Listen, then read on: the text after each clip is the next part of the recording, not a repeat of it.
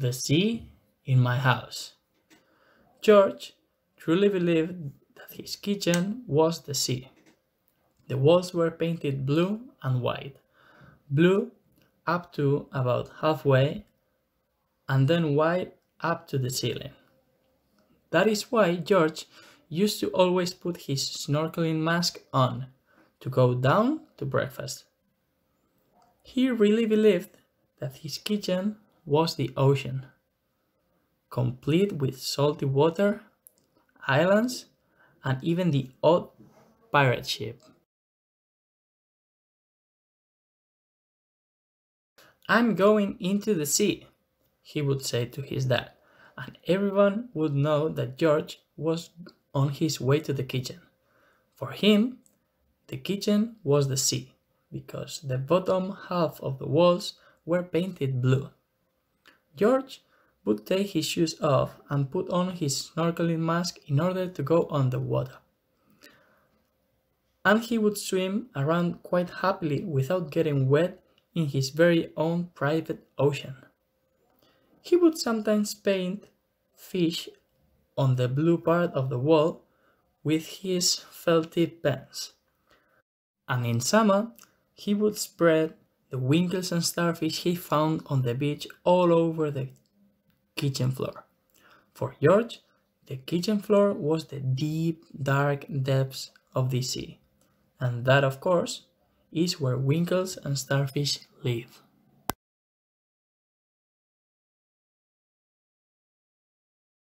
George's mom would get very angry when she arrived home to find the kitchen floor covered with winkles and starfish. She would also get angry when she saw the kitchen walls full of drawings of fish. Oh, George, have you been drawing again? she would cry. How many times do I have to tell you not to draw on the kitchen walls? It's not the kitchen, Mom. It's the sea, George would reply. Well, I don't like those fish one little bit.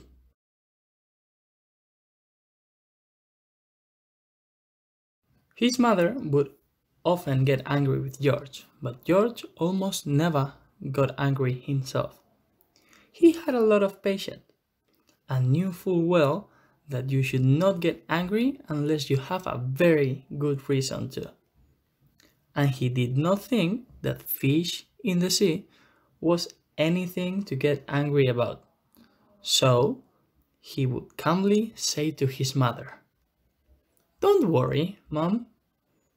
The fish will go away to sleep when it gets dark.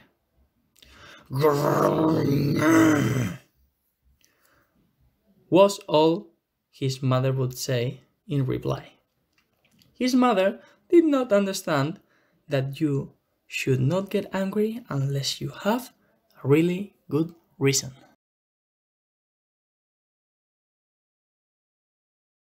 George did not know what grrr meant, so he looked it up in the dictionary without getting angry, needless to say. He knew you should not get angry over silly little things, such as, for example, some fish swimming in the kitchen. However, although he found Greenland and Grub, he could not find This dictionary is wrong, he thought to himself. Our teacher says that all the words are in the dictionary but grrr was not there. So he took the pen and wrote grrr next to grab. Then he put the dictionary on the top shelf in the kitchen so that it would not get wet when the tide came in.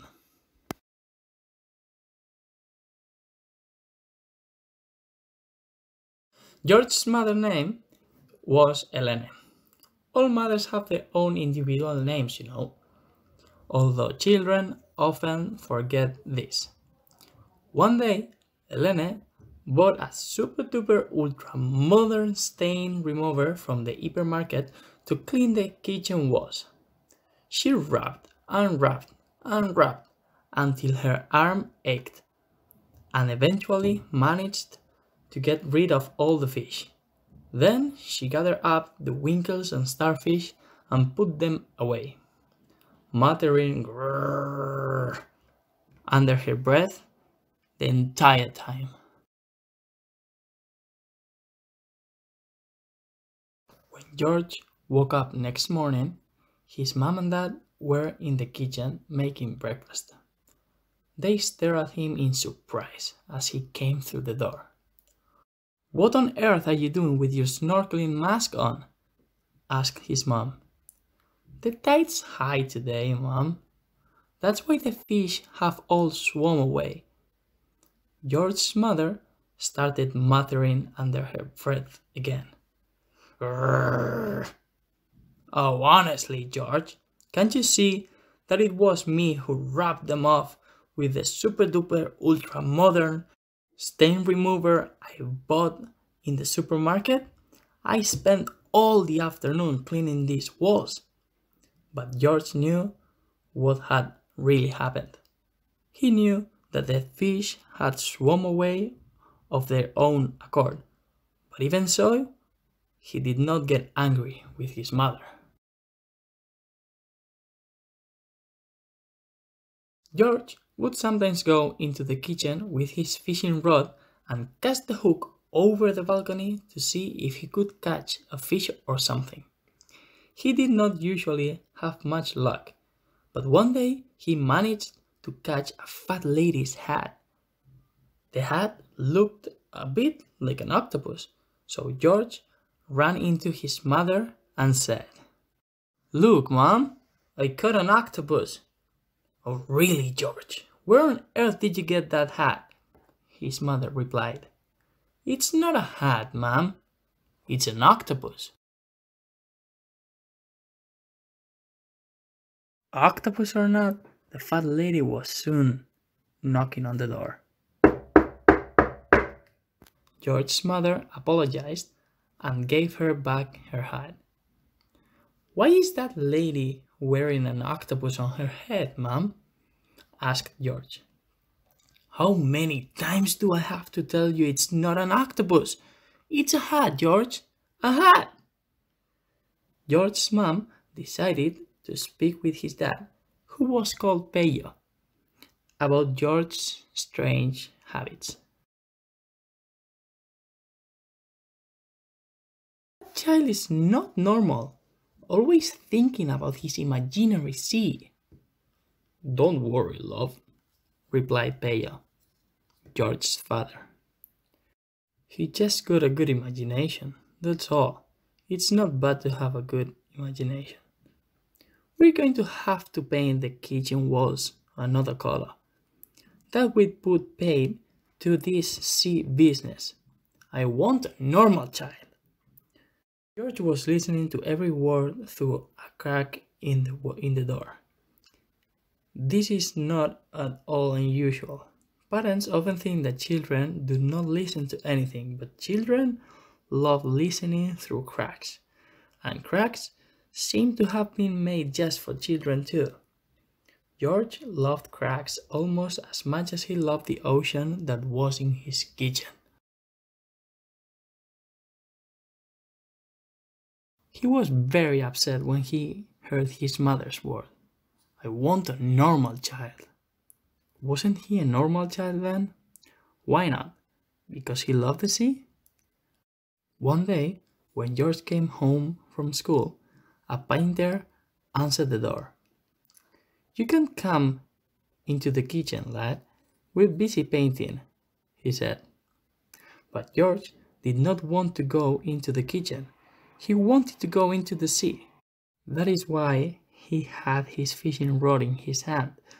He wanted to catch an octopus or some other fish, but the painter would not let him in. In the end, he put his snorkeling mask on and managed to sneak into the kitchen. He could not believe his eyes. the kitchen walls were yellow, not blue sea anymore. George's parents were worried that he might be angry that they had painted over the blue walls, but George was not a child who got angry just like that at the drop of a hat. Instead, he became very thoughtful. Hmm, the kitchen sea has dried up, he said eventually, and then disappeared off into his room as silently as a mouse.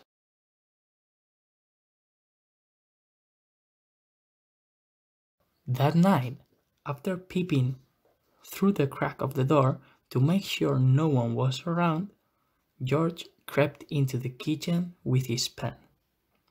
When his mother woke up next morning, she found the kitchen floor covered in fish. She had never seen so many fish in the kitchen before. But now, instead of being drawn on the walls, they were all over the floor. What have you been up to? She asked George angrily. The sea dried up, so all the fish are dead, George replied.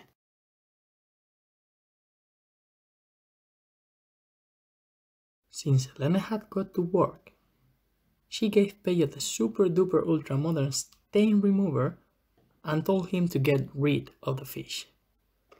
That is just what he did. But George's imagination was much too strong to be defeated even by a super duper ultra modern stain remover.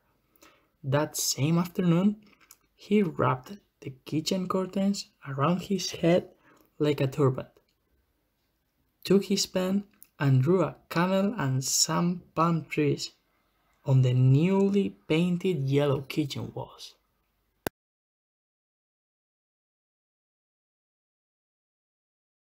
What is that child up to now? Elena asked when she came home from work. Apparently, we are in Arabia now.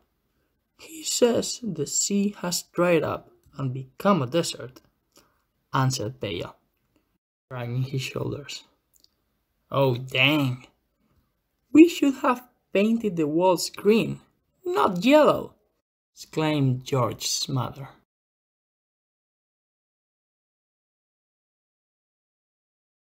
George's imagination was much too strong to be defeated by a super duper ultra modern stain remover, or by yellow or green paint either.